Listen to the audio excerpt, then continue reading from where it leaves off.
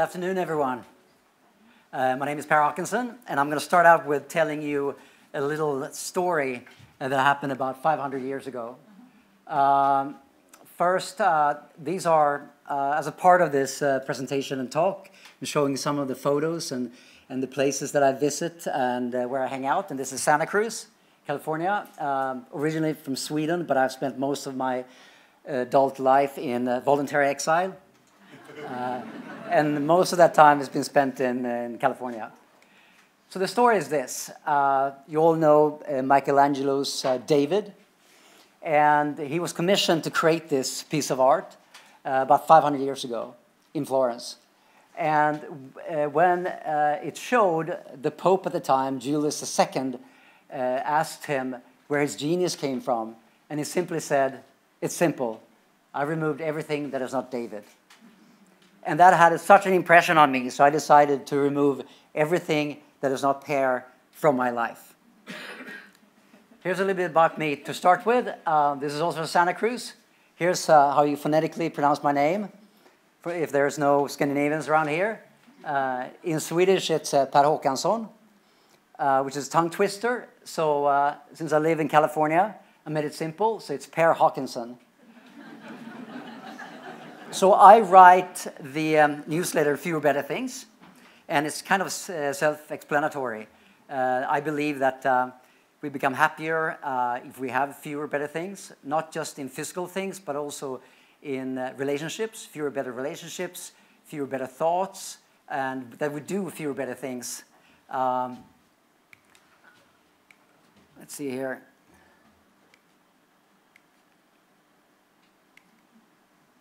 There we go. And I lived nomadically. Um, I spent five years uh, before the pandemic uh, traveling around the world and explore the, the whole space of being digital nomad just because I could, because I didn't have a lot of stuff.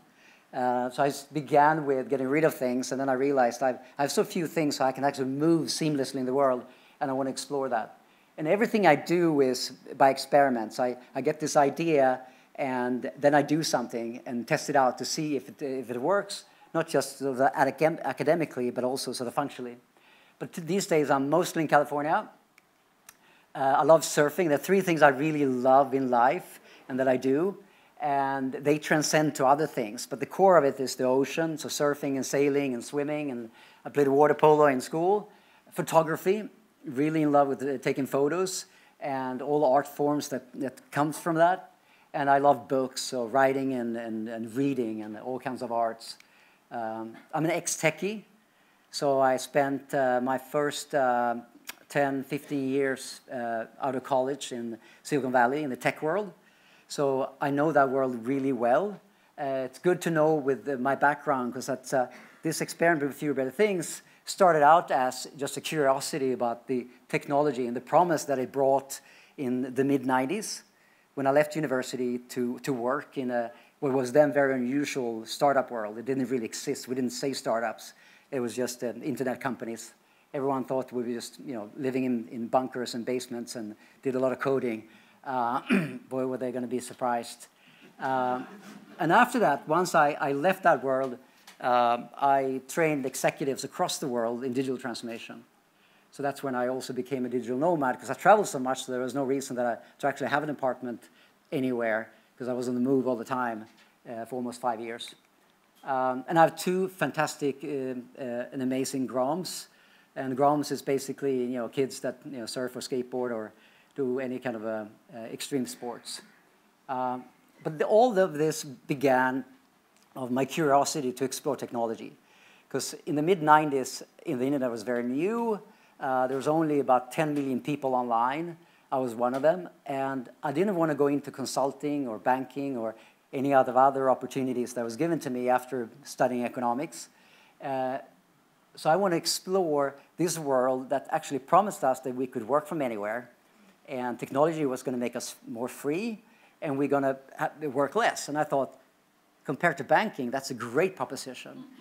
so that's why don't I, you know, uh, join a startup? And it turned out that I, I spent 10 years in the startup world I worked my ass off, 18 hours a day. Uh, I lost my time, I lost my um, attention, and I lost my creative energy. Uh, so we're now looking at 2005, and I need a break. I've be already been in this really new industry for 10 years, and I'm completely burned out. And I started thinking about, so I took a year off, and I started thinking about and reflecting after, probably took three months before I, I got out of the, the, the workaholism and, and felt that I could actually breathe and think again. I started to think about how can I regain this time and attention and, and creative energy. Because I started this journey to actually get more of this, because that's what technology has been promising all through history, that thanks to technology, you can actually work less and you can do, create more value, you can focus more on the things that really matters to you, and you can be more creative. And as the time went by, I realized that technology was actually doing the same thing as, as a lot of other industries. The time that we actually free up with technology was not going to me as an individual. So I decided, okay, let's explore this. How can I actually liberate the uh, time and attention and creative energy that's been hijacked um, from me. And that's when I started to explore the fewer better things. And it began as a journey in, uh, and here's five simple sort of insights that I've had. But the first one is uh, regarding your stuff. Um, and that's how I got into this. I want to get rid of a lot of things. So I started to reduce, just like uh, Michelangelo when he created David. I wanted to have the same kind of idea in my life. I wanted to reduce, reduce my life down to just being myself, being Per. And through that journey, I actually needed to figure out who the hell I, I am or who the hell I was and why am I here and what do I really need. And I discovered that all uh, through advertising and in society and also through my education, it had all been about what do you want to do, not what do you need to do. So I started shifting away from the wants and the dreams and started looking inwards and ask myself, what do I really need in this life? So Maslow has this hierarchy of, uh, of, hierarchy of needs, and I thought that we've gotten to a place where we can actually focus on self-realization, and that's where I wanted to be. What does that mean? Does that mean buying more shit that I never use, or does that mean something else? Because what I saw was that in, in, during university, we had the same ambition to go out and do big things, but we, yet we ended up with more things than our parents. So in 2005, I had a sports car, a big pad in San Francisco. I had all different kind of stuff, and I was absolutely miserable. And I realized that I needed to get back to uh, the original dream, which was returning to California, because I went to school, high school in California, returning and go surfing. That's what I wanted to do. The whole idea about moving to California was actually to not be in office, but being outdoors, you know, go to Mammoth and mountain bike and go to Yosemite and climb and go and surf in the ocean. And instead, I ended up in a, in a wonderful company at the time at Yahoo, uh, which was very exciting to be at, but I was working my butt off all the time, and I didn't really have any, any influence or control of the time and attention and creative energy that I started out seeking. So it began with reducing everything. I started to think about how can I reuse stuff in a smarter way? How can I repair things? And, and I also was looking at reselling, which came later on, and which now a lot of companies are already doing. You know, Finisterre, Patagonia, Outerknown. There's, there are no new uh, resale platforms. Trove is one of them that powers Patagonia, that where you can actually you buy the products and then you can sell them back to the company that created them, and they sell them further on. So through this, I created certain constraints uh, for how I interact with um, producers of goods. Um, and uh, as you know, there's something that's called consumer relationship management. But there's a couple of scientists at Harvard that looked at vendor relationship management. So, it, so it's my, how I relate to and manage the vendors in my life. So I thought that's a great idea. So let's create a couple of criterias of how I want to interact with the companies that are producing things that I actually need. And I said, well, they need to be sustainable. They need to be able to use recycled materials. They need to be able to uh, have a resale platform so I can pass it back on in, in some shape or form. Because during the reduction, when I took my whole closet and reduced it down to what can fit into a backpack, I I learned that you don't get a lot of cents on the dollar for the stuff you bought. And it was also a pain in the ass to get rid of things. So I thought, why don't I just deal with companies that already built that into their business model. So I, and it also needs to be what I need are things that can actually be used in nature. So most of the things that we buy that works in the city doesn't work in nature. You freeze your ass off if you wear a coat in nature. But everything you design for nature works in the city. So why don't focus on things that works everywhere and transcends both nature and, and city and, and travel and everything I want to do and that I use frequently, which means it's either, either on a daily or weekly basis. I don't need the instant gratification because I already realize that that doesn't make me happy. Another Paul Smith shirt, if I already have 10 of them, the happiness is marginal, maybe lasting half a day, a couple hours, and it's a waste of time because I never use it, and then I have to dispose of it if I don't want to buy a bigger house and have more stuff. So that was the first um, insight. So I focused on all the things. And then I realized that as the, as the internet grew, um, there was actually more. I mean, it took more of our time. And I realized that we become hyper convenient. And this is now we're sort of in the in, in the 10, so now we're the, the last 10 years when everything become became very convenient. And I explore this world by um, seeing how can I move around in the world and survive and thrive by only using three things. So I headed out traveling with only my passport, a credit card, and my phone. And the first destination was River Cottage in Dorset, because I like food and I like cooking, and I like that kind of organic approach to cooking. So I went there and uh, for a day hung out with the Hugh Fearnley Whittingstall, uh, but I didn't bring anything. Uh, I thought that let these 11 days that I'm here just be an experiment in understanding what do I really need. So I get to the, to the B&B, uh, it was about 45 minutes from his river cottage, and I walk in and I have nothing. I just show my, my ID, and you know, I pay for the Airbnb and have my phone. I don't even have a charger. Um, and I ask him, at that point I'm starting to probably need you know, new clothes. So I asked the guy, uh, I tell him, I hey, I'm going to go to River Cottage. I'm going to be a better cook. Can you help me out? And so he got so impressed that he said, of course, I'll, I'll do that. What do you need? I need, if you could, every second day, in the evening, can I come around and drop off all my clothes? You wash them. Don't need to do anything. Wash them and dry them, and then I'll pick, you know, just hang them on my door, and I should be fine. Uh, and so he said, I'll do that.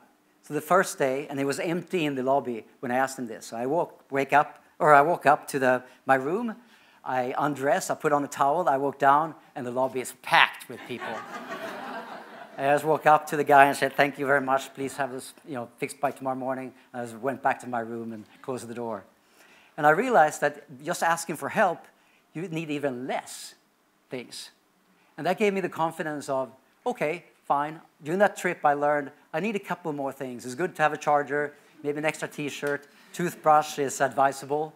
Um, so next time I packed a backpack with a couple of things, but it was never more than 30 liters. And that's how I lived for five years, all around the world, and survived in all different kind of climates, as long as it wasn't really extreme cold. Then I needed to pack on a couple new things. But since we live in a, in a hyper-connected world where you can access anything you want with your mobile phone, you can also you can rent anything anywhere.